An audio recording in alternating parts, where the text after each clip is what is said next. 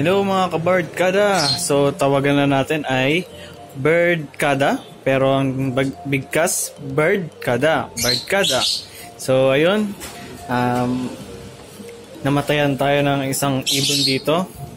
Ko, kung nakita nyo na yung post ko sa Facebook page, yung pares dito, yung lalaki, ay namatay na. Hindi ko alam kung ano nangyari pero yung pag ano ko, yung pagkuha ko dito pa lang, di ba? So nakaapak. So ito pala yung ano, yung asawa nun. Etong Vio PB. Ayan.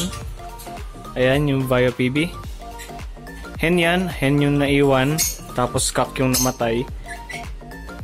Ayan. So hindi ko alam kung ano pa ang nangyayari sa kanila. Pero nakita ko yung kak dito. Nandito siya. Nandito. Ayan pa yung mga balahibo.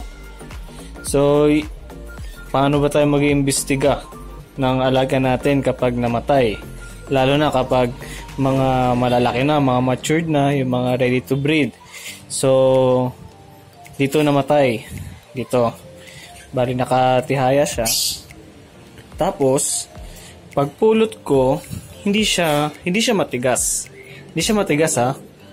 Yung hindi siya nilamig. Bali, hindi siya namatay sa lamig. Kasi kapag kuha ko kasing ganon, yung ulo niya, laylay na laylay. So, wala talaga siyang, ah, walang issue sa lamig. Bali, namatay siya, sudden death, or pinatay siya ng kasama niya. Bali, itong Vio Par Blue, ayan, Vio Par Blue, nandiyan na siya dahil hindi naman natin pwede i-stay lang siya sa kanyang kulungan. So, paano ba namatay yung pares niya? So, ito ang pares niya. Kung makikita nyo dyan, so, ano, ah, nakakaawa tignan. Bali, una kong ibon niya namatay yan. So, unang matured na ready to breed na namatay. So, una ko yung namatay. Bali, nagkaroon na kasi ako ng mga inakain na namatay. So, sanay na ako. Itlog na nabugok. So, sanay na ako. Bali, itong namatay na namatay na matured na ready to breed ay una ko lang to kaya medyo hindi pa ako nakaka-move on agad. Bali kanina lang to namatay. Panigurado kanina lang kasi imposibleng kagabi. Kasi kagabi, alas 10 tumingin pa ako sa ano eh. Alas 10 ng gabi, madaling araw. Ah, tumingin pa ako dito sa ibunan para mag-check. Pero ayun nga, namatay kanina yung partner niya. So ayan yung picture. Makikita nyo dyan yung mata.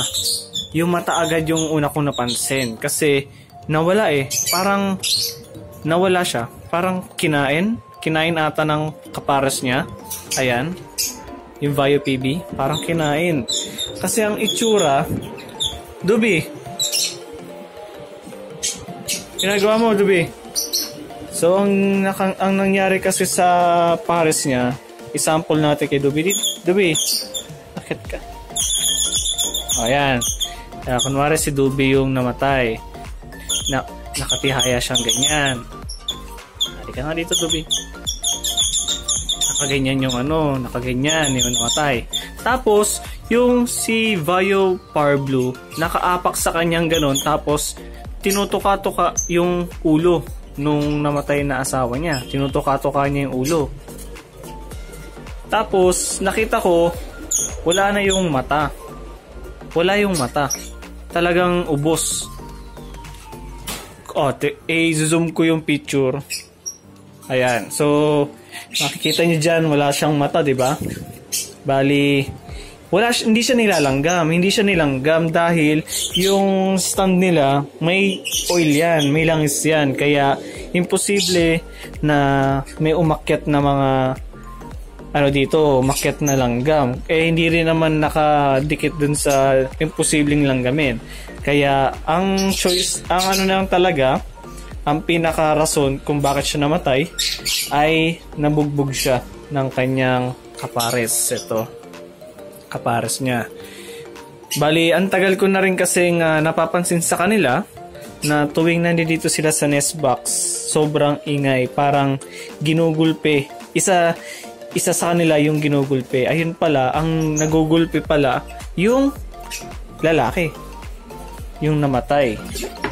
Siguro, ayun yung dahilan kung bakit namatay. Dahil dito sa nest box ay lagi silang nag-aaway, laging ginugulpe, na ayun pala ang dahilan siguro ng pagkamatay. Kasi naubos din yung mata.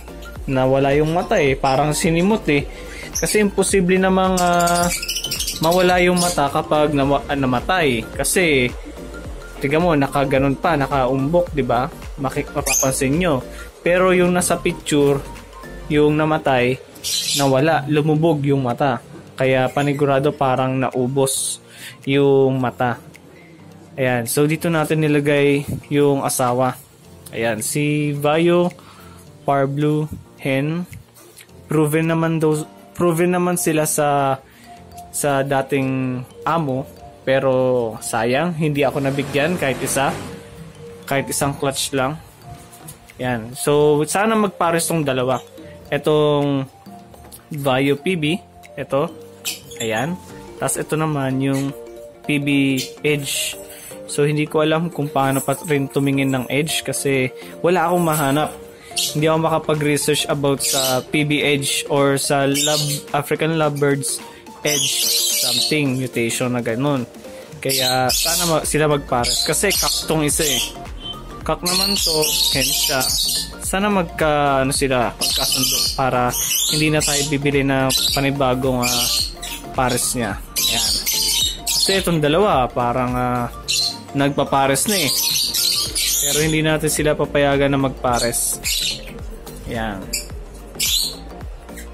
so kung namatay ang alaga nyo imbestigahin nyo muna. Mas okay kasi kung kayo mismo yung mag iimbestiga kaysa yung magtatanong kayo sa iba. Kunwari ako, namatay yung alaga ko, magtatanong ako sa iba kung ano ang nangyari pero hindi naman talaga nila alam yung nangyari. So, kailangan alam nyo kung paano kayo mag-alaga, kung paano kayong mag-set up, kung paano yung pag-observe nyo sa namatay na alaga nyo. So, ganun lang naman sa akin yung pag-observe ko. Uh, hindi siya nilanggam kasi ang paan ng aking stand ay meron niyang langis. Kaya imposibleng uh, umakyat yung mga langgam. Kasi hindi rin naman, hindi naman din siya nilalanggam nung namatay na. Ang siguro ang nangyari talaga, yun nandito sila sa nest box, sobrang ingay nila, parang nagpapata, pinapatay talaga, eh, ginugulpe. Ginugulpe yung cock, yung namatay. Baka nga yun talaga ang dahilan. So, wala na tayong magagawa. Namatay na. Kailangan natin mag-keep forward. Kailangan lang talaga natin dumaretso dahil ganyan talaga ang mga pag-aala sa pag-aalaga ng mga ibon. Kaya tanggapin agad natin kung ano ang mangyayari sa mga African lovers natin, mga barkada. Ayun lang naman. Ayan, at tignan nyo naman tong dalawa. Kaaway. Ah, 'di ba? Medyo nakakaano rin sila. Nakakapang duda. So, masarap ilagay ito dito. Oh. Kapag nanggigilaw sila, lagay ko kayo. Ayun, so si Dubi si Dubi pa, paano na to si Dubi? 4 months na eh. Ang laki niya na eh, oh. Hen na hen talaga yung galaw niya eh. Lagay ito. Si Dubi. 4 months old na si Dubi. Ang bilis ng panahon. Hen si Dubi, sure hen, 4 months. Tapos team na team, aray ko. Lagi siya nanggigig aray ko. Ayan, so, ayan na si Dubi. Hindi natin pwede, aray, si Dubi, baka makalipad ka. Ayan si Dubi, oh. Okay, Dubi, pasok ka na.